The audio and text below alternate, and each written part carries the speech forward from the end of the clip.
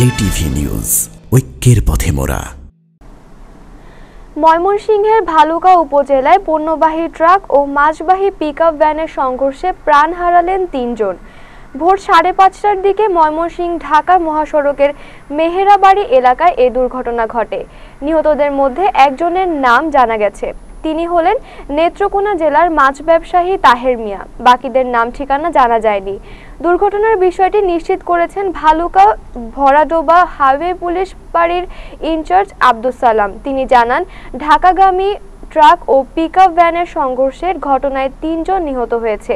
নিহতরা সবাই পিকআপ ভ্যানের কেবিনে ছিলেন। নিহতদের মরদেহ উদ্ধার করে স্থানীয় হাইওয়ে পুলিশ বাড়িতে নিয়ে আসা হয়। ময়নাতদন্তের জন্য তাদের মরদেহ ময়মনসিংহ মেডিকেল কলেজ হাসপাতালে পাঠানোর কথা হয়েছে।